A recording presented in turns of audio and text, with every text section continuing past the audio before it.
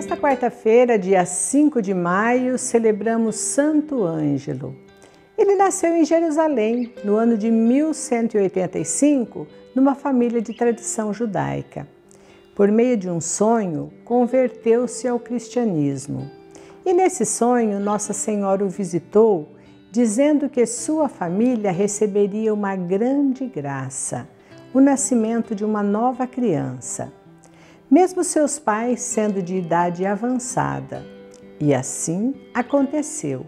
Ângelo percebeu o chamado de Deus e recebeu, junto com seu irmão recém-nascido, a graça do santo batismo.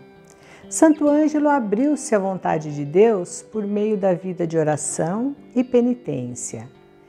E quanto ao seu lugar na igreja, fez uma experiência religiosa em vários mosteiros da Palestina e Ásia Menor, até que, ao passar o tempo num Carmelo, entrou na ordem consagrada de Nossa Senhora, a família carmelita.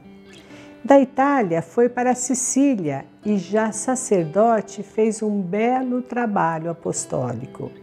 Um homem dócil e corajoso Certa vez, ao pregar, deparou-se com a graça da conversão de uma mulher que vivia no adultério com um senhor de muitas posses. Ela se abriu ao Evangelho, mas ele não.